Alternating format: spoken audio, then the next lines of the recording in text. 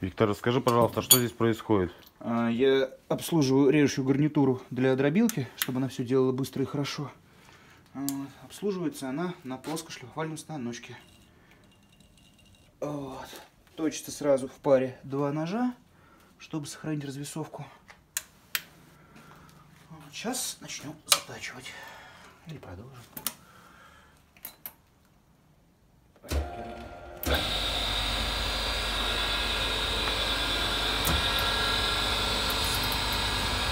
Так.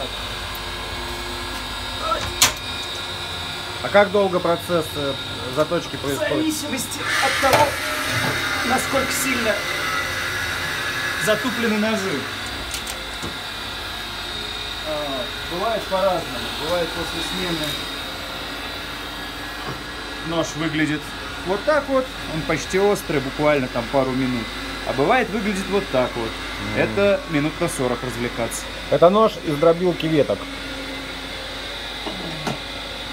Пока отвлеклись, я забыл выставить упор, и она уехала. Давай в другую сторону, родная, поехали.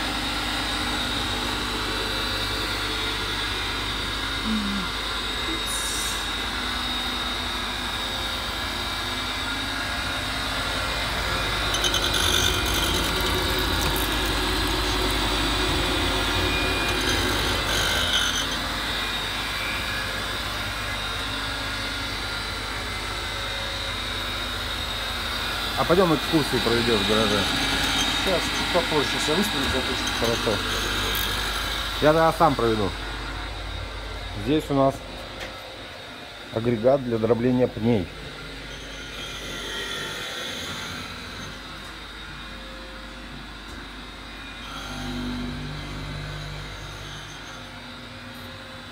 Американец Вермер.